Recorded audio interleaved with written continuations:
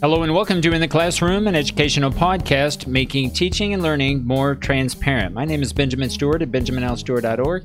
Today I want to spend a few minutes introducing a course called Thesis Seminar, which will uh, begin in January of 2021. Want to talk about the different ways of accessing the course content and how we're going to be engaged throughout the semester as the course is going to be taught completely online.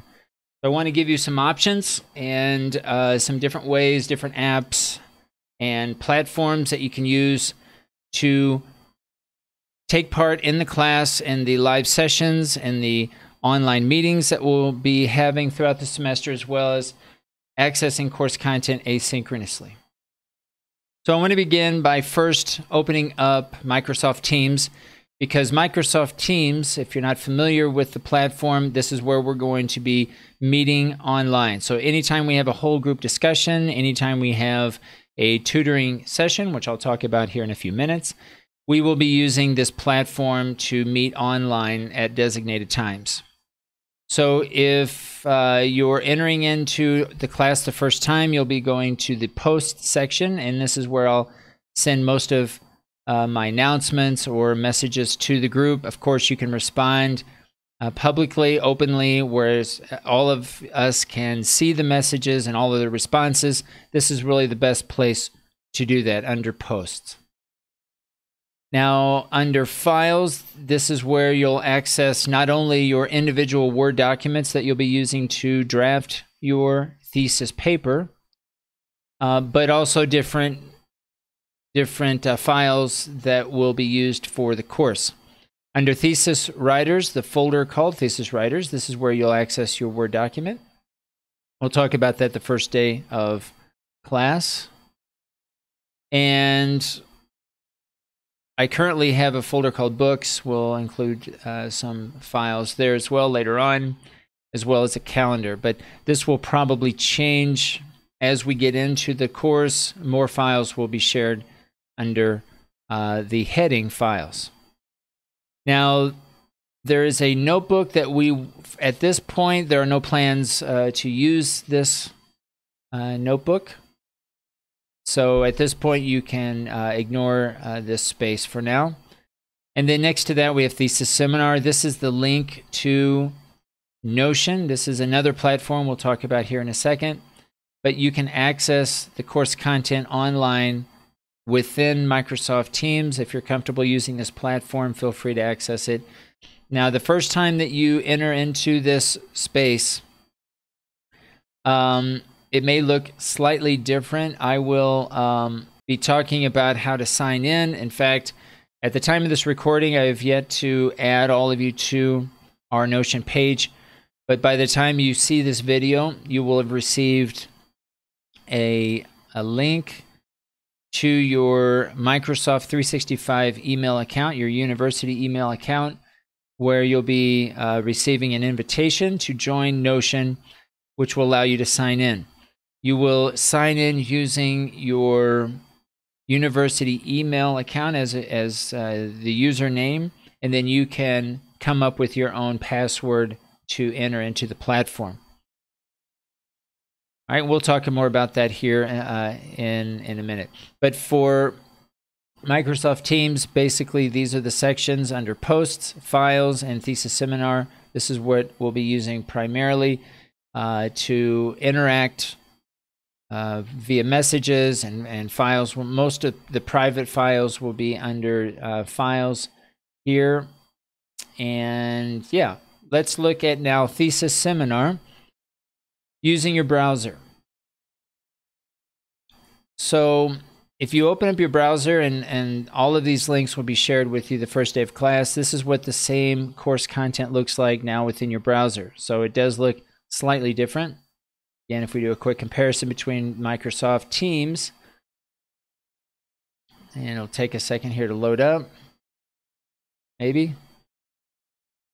Give it a second. Okay, so here is the course content as it appears in Microsoft Teams. And this is what it looks like in uh, the browser. Now I'm using dark mode, so it will look pretty much the same. You'll notice along the right hand side an outline. So the thesis seminar homepage has a table of contents, and I've added to my browser an add-on or an extension, I should say, called Notion Boost. So if you like this outline, again, this outline is taken directly from the table of contents. It's fixed, so as you scroll down the page, notice that you can easily jump around the different sections of the page simply by clicking on these hypertext within the outline. So uh, this is optional, of course, uh, if you want to remove the outline.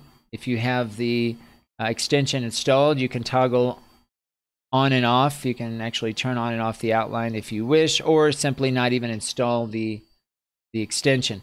Uh, the extension does have other options that currently I, I don't use, but I, I do I do like the outline uh, option. All right, so you'll notice if you're visiting this page for the first time, you'll notice that uh, it's there are several sections to the page. We've got the general information about the course, the course description, the objective, how the course will be delivered, and that's going to be broken down into three main areas. One being the tutoring sessions, which we'll talk about in a minute. The second being whole group discussions, and I've included some important dates that we'll talk about the first day of class where we'll you'll be asked to meet online. This will include the first week of class, which will begin January 25th.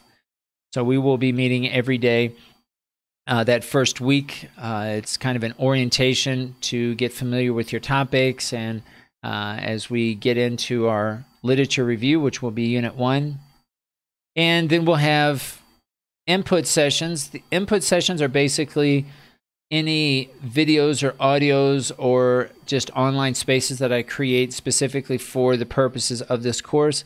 And I'll be sharing those input sessions with you in the course schedule. Now, in the course schedule, you'll notice a calendar view.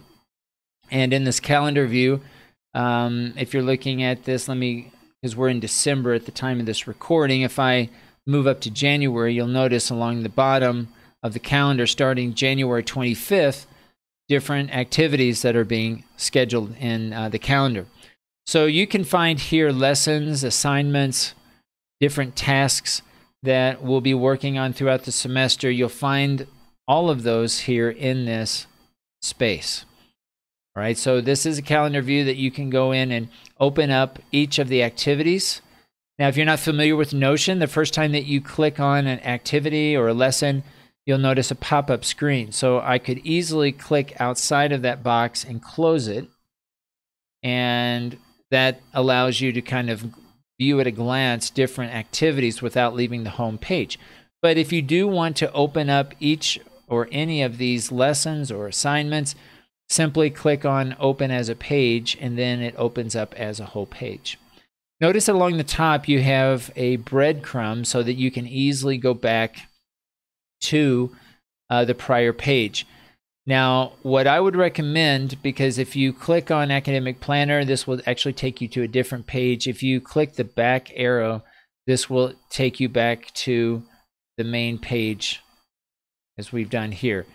Um, if you click on in the classroom, in the classroom is actually the home page where I post uh, all of the classes that I teach, you'll notice um, thesis seminar under OpenCourseWare. So if you actually if accidentally get back to in the classroom, know that thesis seminar is one class within the homepage in the classroom.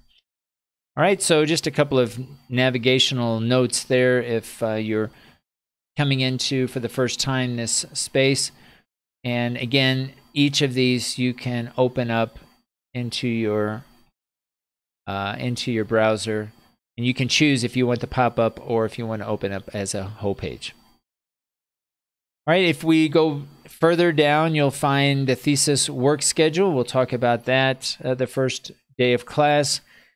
We have the university calendar. If you need to refer to that, you can find it here. And along the bottom here, we'll just keep going down. Uh, we'll talk about the roster. Okay, each of you will have your own space within Notion, and uh, we'll get into that later.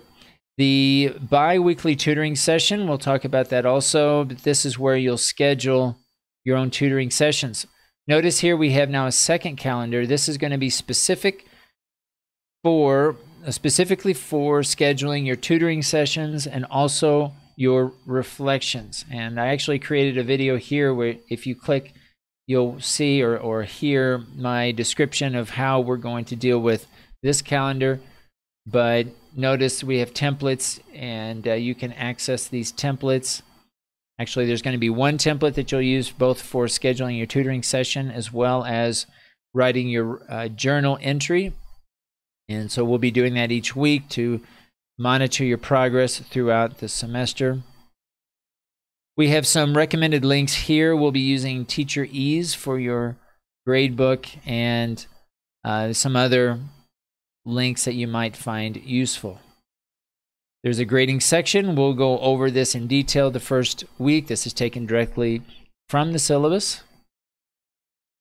And then we have some additional links and references. If you're new to Notion, I, I would recommend that you go to the page called Notion Help Center. And I have, I think, some useful links that might you might find useful, both not only for this class, but if you decide to use Notion as a student, there are some really good tips that you can use for keeping notes and just organizing yourself in terms of the courses that you're teaching and maybe even decide to use it as a teacher in some of your classes. All right, so this is basically what it looks like uh, in Notion. And once you have found the page, I would recommend that you uh, that you uh, save it in your bookmarks this page so that you can easily access this later on. All right, so again, you can access all of this course content within your browser on your desktop computer as well as within Microsoft Teams. Again, exactly the same content. I can easily go in and do basically everything that uh, we've done online in our browser, you can do within Microsoft Teams. But do make sure that you've signed in if you're accessing this for the first time. And again, at the time of this recording, I have yet to send your invitations, but I will be doing that uh, a little bit later today. All right, now let's look at the some apps on your phone that will allow you to access the same course content but on your cell phone. Two apps that we'll be using, Microsoft Teams being one of them. And if you're getting into, let me go back to the main page here. All right, so you should, uh, it should appear this course called Thesis Seminar. And this will take you into the app where you'll see along the top three menus, three options, post, files, and then more. So here you can view all the posts under files. These will be the same files that we saw earlier. So we can access, you can access your documents. Um, if you are using Word uh, to on your phone to to write your paper, then you're going to need to also have installed Microsoft Word on, on your cell phone. I recommend that you find a computer simply because I think it's more comfortable to actually write, uh, especially a paper of this length, using a, a, computer, a desktop computer. But maybe there might be some times where you want to switch back and forth, and uh, if inspiration strikes, you can use your phone to continue adding content or information to your thesis paper, your Word document. All right, so the, that's files. If you click more, you'll see thesis seminar, and um, it's not showing up now. The first time that you access this, it will give you an option to either open up the Notion app or you can open up your browser. Since we're in our browser at this time, let me show you what this looks like. So if I want to click on thesis seminar, it will open up here. And the good thing about Notion is it's very, it looks really good on uh, in your browser. Okay, so if you decide, or maybe you don't have space to install another app on your cell phone, you can easily use the browser within your cell phone and access all of the same content that we looked at earlier. If I scroll down here, right, you can see the same info. And this is just within the browser. It looks very good and it's it's a pretty good user experience. But if you do have space and you want to use the Notion app, this is what it looks like. You can uh, install it directly, and it's just another way of accessing it. Now you'll notice I'm in dark mode. Uh, this is because it's a just a personal preference. But again, it's the same content. If I scroll down, you'll see the same sections that we looked at before, the same calendars, and so on. If I click on any of these dates, then these this is the course content within those dates. Let me go back to January, and you'll notice January 25th. This will be our first class, and I'll click on there. All right, and so again, same information, same course content, and you'll notice we also have the breadcrumbs along the top and I would recommend also using the back arrow instead of using the breadcrumb. You, you can certainly use it, but it's uh, notice that the course thesis seminar doesn't appear in the breadcrumb. So if you click the back arrow, this will take you back where we were before. So again, I would recommend for the for in most cases, you'll want to hit the back arrow to go back to the syllabus page or the main page of thesis seminar. Again, we have the same uh, table of contents. We can click on that and jump to each of the sections. All right, so this is what it looks like here within the app. We looked at it within the browser, and and we looked at uh, the different sections of Thesis Seminar within Microsoft Teams on our cell phone. So again, tr try to use the app that you feel most most comfortable with. Uh, the reasoning for the different options uh, that I'm trying to show you here today is so that you uh, become comfortable and that you can easily access all of the course content, both the synchronous forms of communication that we're going to be taking part in this semester, the online courses, the the whole, whole group discussions, the tutoring sessions that we're going to be taking part in. Again, we're going to be using Microsoft Teams for the most part uh, accessing all of our online sessions through that single platform. And then asynchronously, all of the course content will be in Notion. And I'm going to be sending you an invite so that you can get into these pages um, so that you can you can uh, begin looking around and uh, looking at the different areas that we'll be uh, taking part in. All right, so again, classes are going to start January 25th, 2021. We'll be meeting at 8 o'clock in the morning. That will be our first session. So be looking for an invitation to an online meeting in Microsoft Teams under posts. I'll be opening up a schedule or a meeting. I'll be scheduling a meeting uh, for that first day so that we can begin uh, promptly. And again, that first week is going to be uh, mandatory that you attend all of the courses, all of the online classes that we have scheduled so that we can uh, begin thinking about how to either take a thesis or a literature review maybe that you developed last semester or just th- thinking about the topic that you're considering and uh, thinking about how to adapt it for the purposes of doing an actual research study. This has been In the Classroom, an educational podcast making teaching and learning more transparent. Thanks for listening.